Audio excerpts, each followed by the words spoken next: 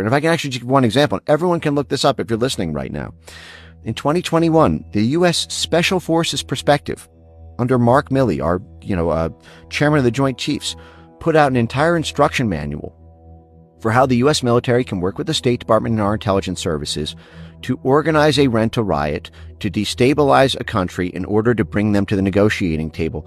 They gave an example of a hypothetical West African country where a member of U.S. Special Forces is on a separate mission, driving down a highway and notices a billboard for Chinese infrastructure investment into a new port in this Western African country. The unit takes note of this billboard on a highway in Western Africa with Chinese symbols on it. They do their own investigation and figure out that this is part of a real estate development project from Chinese investors that as part of that development project will have the construction of a Chinese naval port in this West African country where in theory China would then be able to project naval influence into the Atlantic Ocean. What the Special Forces Guide calls for is coordination with the State Department, coordination with our intelligence services, coordination with our psychological operations unit to take all of our assets in that West African region and in that case, what they did is they planned to work with the unions. What they, what they did is they embarked in a social media influence campaign. They would activate all their media assets, all of their civil society institutional assets, and all their union assets to have the union labor pool in that West African country. Well, actually, there was one thing that happened first is they first then went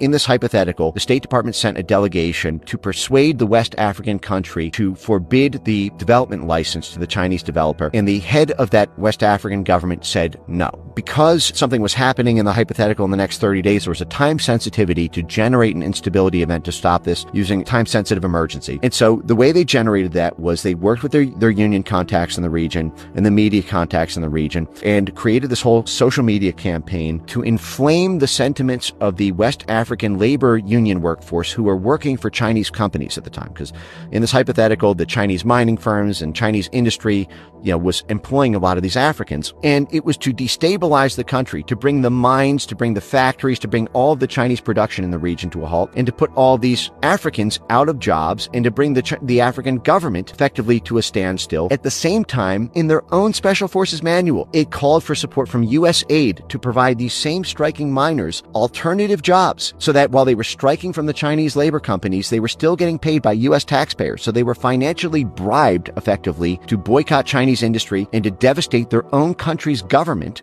create this crisis and then use the State Department delegation to go back to the negotiating table with the West African government and promised to end the destabilization if the development was halted. And in that hypothetical, the West African government then rejects the license for the for the real estate development of, of China, and that is declared as an unalloyed success by the U.S. Special Forces and their partner network in the State Department and intelligence. And this is the way of our diplomacy in 2021.